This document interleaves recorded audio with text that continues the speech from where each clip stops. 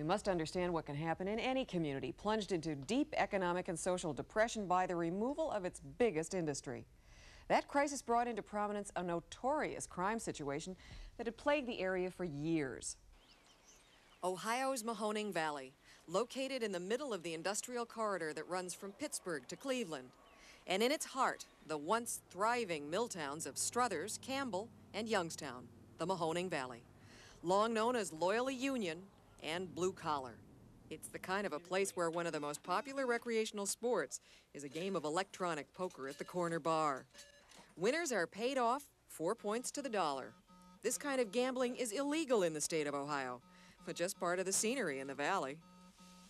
In the good years, the Mahoning Valley steel industry hummed around the clock.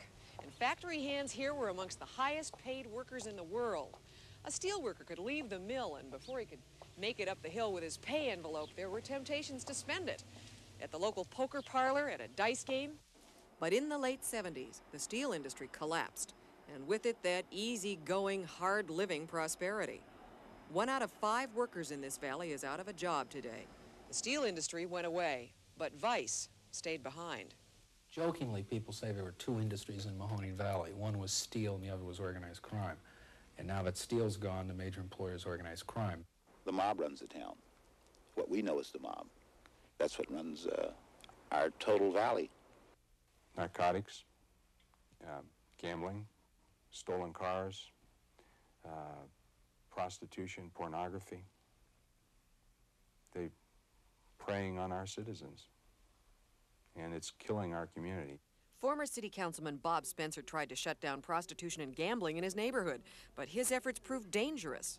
We were asleep. It was 1, 1 or 1.30 in the morning. And one of the neighbor's children had come in late, and she called us and said, your car is on fire. And we raced out into the living room, and the whole living room was orange with the glow of the car burning. Now, you say that all very calmly now, but I don't suppose you were very No, I wasn't calm at all, especially when they said it was definitely a torch job. The FBI told the Spencers that the bombing was the work of organized crime, and the threats continued. Seven eight eight six one five seven. Yes, it is. I burned your car once, and I'll firebomb your house next time. We put bulletproof glass on our house to stop people from firebombing us. Uh, and frankly, we left it up there because uh, we thought we made some pretty serious enemies. I'm afraid if he's out late and being threatened once is enough of a lesson that you don't get over it. I think my children are afraid. And Evelyn Gordon won't forget what happened to her either. She used to run a little coffee shop, a gathering spot for local political reformers. And Mrs. Gordon was helping collect signatures for a new city charter, which it was hoped would make politicians less vulnerable to corruption. But two nights before the filing deadline, she lay asleep in her apartment behind the restaurant. That's when a firebomb was tossed through the window. Within minutes, she lost home, business, everything in the world she had. She barely saved the petitions. It took me a long time to get over it, too.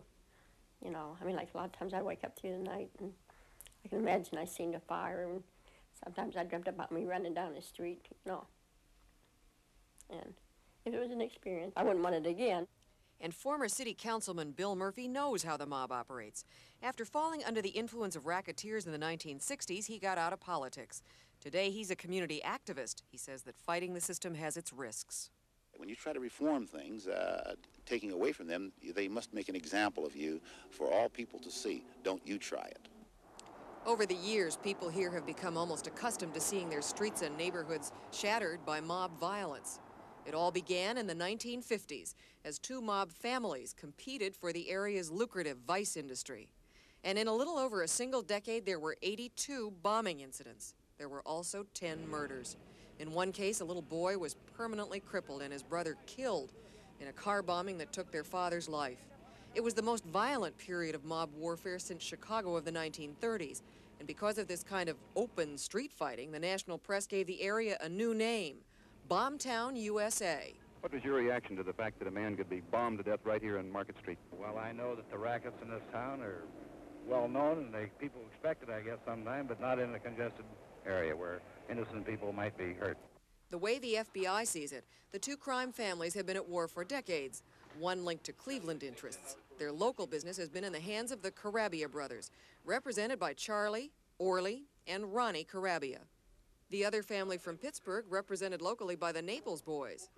Twice imprisoned brother Joey is considered by federal authorities to this day a key figure in Mahoning Valley organized crime. After a 15 year truce between the Carabbias and the Naples, warfare again broke out in the late 1970s. To date, two mob figures have disappeared, and there have been eight murders. In one murder attempt, a Youngstown mother of four was wounded. She'd been out that evening with an alleged hitman for the Carabbia brothers. She remembers a dark driveway and two men in ski masks. It was like they moved in slow motion, and you didn't even hear them. They were just standing there and they were pointing guns at us.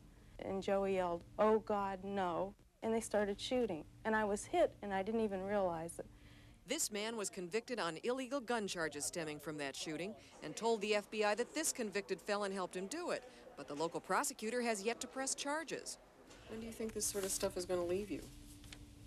Probably, probably never, because this is the way Youngstown is. They love it this way in this town. The politicians make more money. Do you believe everybody is corrupt here? Three quarters of them, yeah. If you're honest, you won't make it here. How do you know that? It's the law of average in this town. The law of averages gave Jim Traficant slim chances when he ran for sheriff back in 1980. He was a reform candidate with little going for him politically except his clean cut image. He'd been a star quarterback at the University of Pittsburgh and progressed from football hero to local hero as a drug counselor and a community activist. Honesty in politics was the issue in his campaign for sheriff. It's time to stop rubber stamping patronage in political deals. Together we can strike a blow against political bosses. Traficant beat the local Democratic machine and took office promising to clean things up and stay independent. His performance was vigorous and well covered by the press. We're going to come down and knock your house apart. We're going to find that lab. Nothing seemed too far from the long arm of the big sheriff. Ever notify every law enforcement agency in the states surrounding Ohio? There were narcotics raids. You bring this in here? What's that? Yes. Yes, you did. Yeah. You realize that almost two of our agents were killed tonight? Almost killed tonight? On, on a deal that emanated from your dope? Weapons were seized. Illegal gambling machines were confiscated. I want to say one thing to Campbell. Campbell is become known as the gambler's town. Campbell is a very good town, an excellent town. Most people don't like what goes on here. And if Campbell doesn't straighten its own ship out, Campbell's going to be in for a lot of hell from the sheriff's department. To prove his point, Sheriff Traficant arrested the mayor of Campbell, charging that he was running an illegal gambling operation in his grocery store. Hey, Rocky, what's this all about? No comment. You got a comment? Not a comment. Is it true you were running the numbers out of the dairy? No comment. The charges against the mayor were dropped, although his sister and brother in law pled guilty.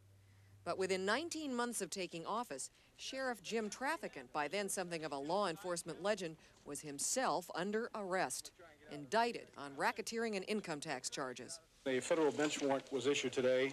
Uh, Sheriff Traficant surrendered to FBI agents and an IRS agent here in Youngstown. The federal indictment charged that when he was a candidate, Jim Traficant illegally accepted $163,000 from the Naples and Carabbia crime families and failed to report it on his income tax return. Surprisingly, the case against Traficant was the result of evidence obtained by the FBI from the Carabbia family itself. Here's how that happened. Audio tapes were made of meetings at a Carabbia residence between local public officials and members of the Carabbia family.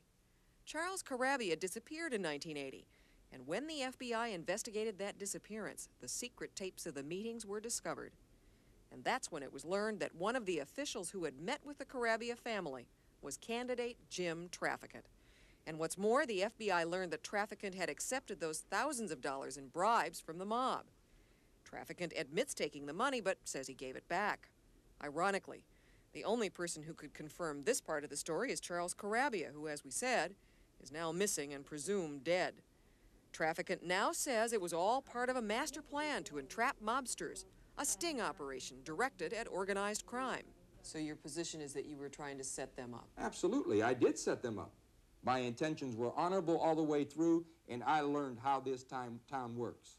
It's like the face of a one-eyed jack on a deck of playing cards. I've seen the other side of that one-eyed jack. They know I have. Well, I want to read to you from the transcript then. Fine. Whatever you guys do for the sheriff here is because I want you. I want to take care of Charlie and Orly and Ronnie because I made the deal with them and I'm loyal. Did you say that? I don't have the specific tapes. Probably did. Well, here's the transcript. Sure, that's a transcript. There's no shock value in that transcript. Did you say it? More than likely I did. I can't say that I did. I don't remember three years ago. But I wouldn't certainly try and tell them, look, gentlemen, when I win, I'm going to shove it up your rectum because I'm going to bust you. I'd have them thinking that they are going to become the most powerful people in America to further my goals. One of the things I have to do to continue on what I'm doing is to further my goal, I have to have them trust me. That's the confidence game. That's what the mob usually plays with the politician. Why didn't you make a deal with the federal government instead of making a deal with the mob? How would I know who I was talking to? The point I'm trying to make is here is that I did not trust the FBI in Youngstown. A central part of Traficant's defense were FBI informant reports naming this man, Stan Peterson, formerly in charge of the local FBI office, as a contact for mob figures. Your accusation seems to be that you think that the FBI is trying to kill law enforcement. I'm saying there's certain people in the FBI that transfer information to organized crime people which protect and insulate them. But former federal prosecutor John Sopko disagrees. He says there were other options. The litmus test to any argument that the local FBI office or the local whatever office is corrupt is the fact that you can always go to other federal law enforcement agencies. You could always contact the U.S. Attorney's Office. You could always contact the Strike Force Office. Uh, you could always contact Washington.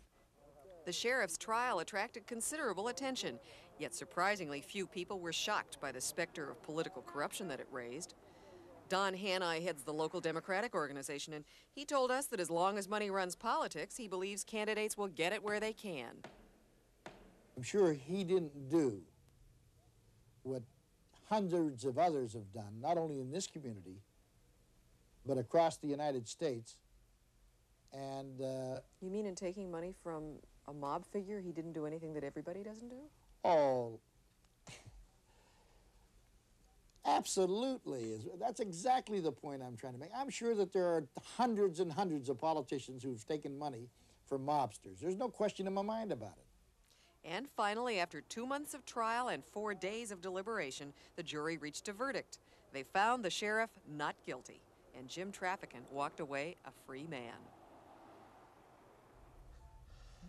Any idea how the jury arrived at that verdict? Well, Hugh, the jury felt that there just were too many questions left unanswered by the prosecution, specifically questions about those audio tapes we mentioned. They seemed unreliable, and it had been established that they'd been edited. Now, with the trial behind him, the sheriff says he will renew his campaign against the mob.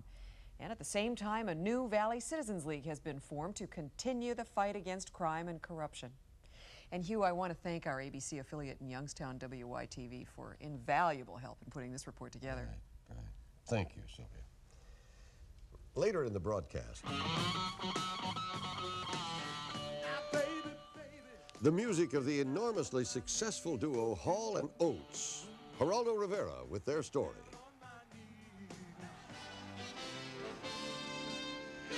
But next, I'll have a report on Leo Buscaglia, the man who reaches millions with a simple message love.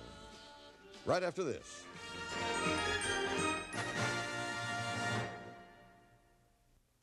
Nothing's better? Nothing's better